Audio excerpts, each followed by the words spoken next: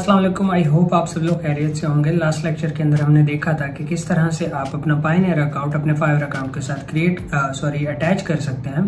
तो हमने मैंने आपको पूरा प्रोसेस बताया था और एक और प्रोफ़ाइल के ऊपर मैंने uh, जो है फाइवर के साथ अपना पाइनियर अकाउंट सक्सेसफुली अटैच कर लिया है। तो आज हम देखेंगे कि अटैच करने के बाद आप किस तरह से अपने फंड्स को विड्रॉ करवाएँगे फाइबर से अपने पाइनियर अकाउंट के लिए? तो इसके लिए चलते हैं हम अपने दूसरे लैपटॉप के अंदर और देखते हैं कि किस तरह से आप ये काम कर सकेंगे।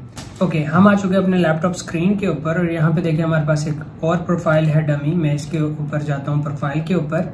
प्रोफ़ाइल में मैंने क्लिक किया, उसके बाद मैं सिंपल अर्निंग्स के अंदर जाता हूँ।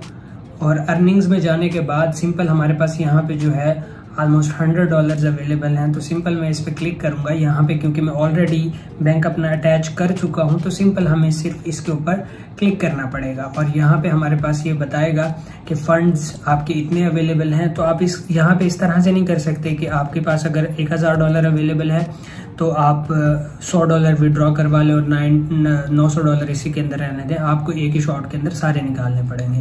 तो सिंपल मैंने यहाँ पे क्लिक किया और यहाँ पे कंफर्म है विड्रॉ सिंपल मैं इस पर क्लिक करूँगा तो ये सारे फंड्स सिंपल मेरे पाइनियर अकाउंट के अंदर चले जाएँगे। विद इन हाफ़ आवर अगर वीकेंड पे आप ट्रांसफ़र कर रहे हैं, जैसे फ्राइडे सैटरडे संडे तो आपको मंडे को फंड्स रिसीव होंगे। अगर मंडे को कर रहे हैं तो मंडे को ही आपको रिसीव हो जाएँगे आपके पाइनियर अकाउंट के अंदर। तो ये सिंपल सा प्रोसेस था। आई होप आपको समझ आई होगी किस तरह से आप अपने फंड्स जो हैं निकाल सकते हैं फाइवर से। अपने पाइनियर के अंदर। नेक्स्ट वीडियो के अंदर हम देखेंगे कि किस तरह से अपने पाइनियर अकाउंट से निकाल सकते हैं फंड्स अपने लोकल बैंक के अंदर। और लोकल बैंक से किस तरह से विड्रॉ कर सकते हैं, ये आपको बेटर पता है।